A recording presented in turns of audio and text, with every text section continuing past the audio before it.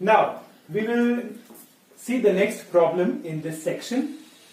We have to prepare a composition table for Z7 star. Okay?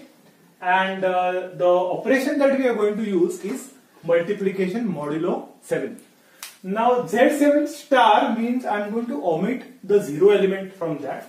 So what are the elements of Z7? The elements of Z7 are 0 bar, 1 bar up to 6 bar. Right. But we are omitting 0 because of this star. So what are the elements of Z7 star? Now 0 is omitted. So I will get 1 bar, 2 bar, 3 bar, 4 bar, 5 bar and 6 bar. So these are the elements of Z7 star. And I am supposed to prepare a composition table for that. So I will write the composition, the elements here. So I will get 1 bar, 2 bar, 3 bar, 4 bar, 5 bar, 6 bar. Here also. And we will multiply the elements as our usual way as discussed in the previous sections. I am going to use multiplication modulo 7 means if 7 comes, actually 7 will never come, but 7 is equivalent to 0, 8 is equivalent to 1 and 9 is equivalent to 2 bar and so on. So this is the way I am going to do this. So let me show you the first and the second line. So 1 bar in 1 bar multiplied by all these elements will give you the same element. So 1 bar, 2 bar, 3 bar, 4 bar, 5 bar, 6 bar.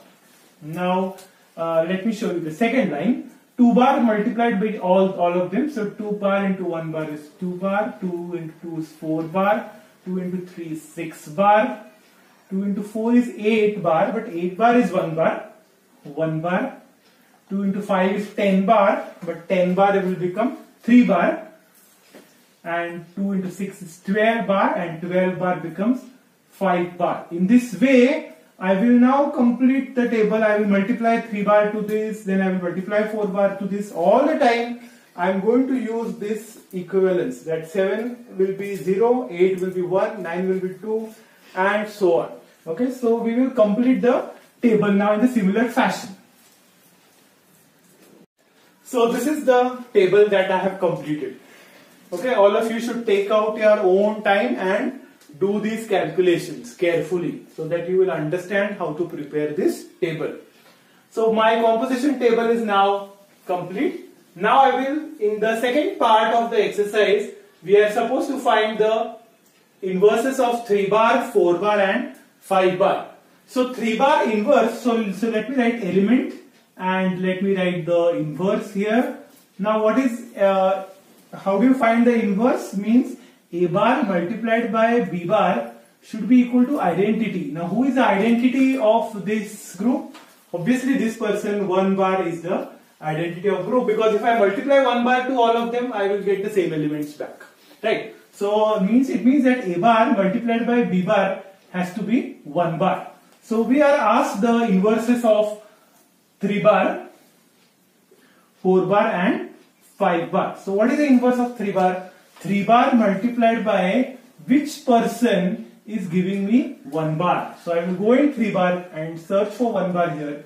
So here I will get that 3 bar multiplied by 5 bar is 1 bar. So who is the inverse of 3 bar? 5 bar is the inverse. If I go for 4 bar, 4 bar multiplied by 2 bar is going to give me 1 bar. So this means inverse of 4 because 4 bar into 2 bar is 1 bar. So this means that inverse is 2 bar. And what is inverse of 5 bar? Now we know that 3 bar into 5 bar is 1 bar.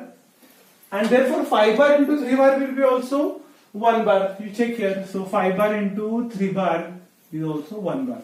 So inverse of 5 bar is 3 bar. So this finishes our exercise of finding the inverses of 3, 4 and 5. You can also find the inverse of 2 bar. If you want to, if you, you can also find the inverse of 6 bar. See, inverse of 2 bar will be 4 bar and inverse of 6 bar will be 6 bar itself. So, 2 bar inverse is 4 bar and 6 bar inverse is 6 bar.